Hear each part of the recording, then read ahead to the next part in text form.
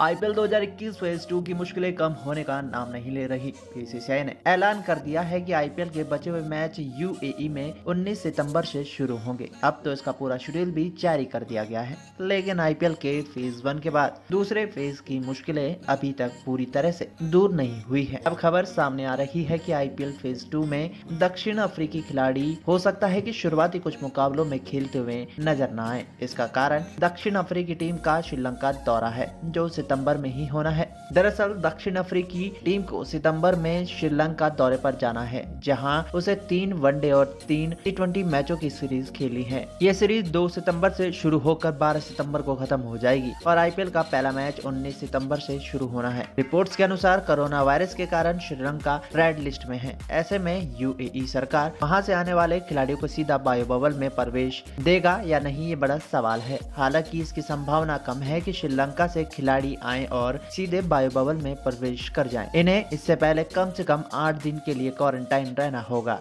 इसके बाद ये खिलाड़ी अपनी अपनी टीम के साथ जुड़ पाएँगे। ज़ाहिर है की ऐसी हालात में ये खिलाड़ी आईपीएल के शुरुआती कुछ मैचों को मिस ज़रूर करेंगे। आईपीएल में दक्षिण अफ्रीकी के अच्छे और बड़े खिलाड़ी खेलते हैं। इसमें डेविड मिलर लुंगियनगिरी और कगी सोरावाड़ा शामिल हैं। हालाँकि फाफ डुप्लेसी और ए बी डिविलियर्स जैसे खिलाड़ी भी आईपीएल खेलते हैं, लेकिन ये खिलाड़ी अब इंटरनेशनल क्रिकेट नहीं खेलते ऐसे में इनके आईपीएल में खेलने को लेकर कोई संदेह नहीं है। वही इंग्लैंड के खिलाड़ी को लेकर अभी तक तस्वीर साफ़ नहीं है। ईसीबी पहले ही इसको लेकर मना कर चुका है, लेकिन बीसीसीआई की कोशिश है कि किसी तरह से बात बन जाए, ताकि आईपीएल का पूरा रोमांच बना रहे। देखना होगा कि आने वाले दिनों में इन सभी मामलों को लेकर क्या कुछ फैसला होता है। दोस्तों, आपको क्या लगता है? हमारे कमेंट बॉक्स में ज़रूर बताएँ।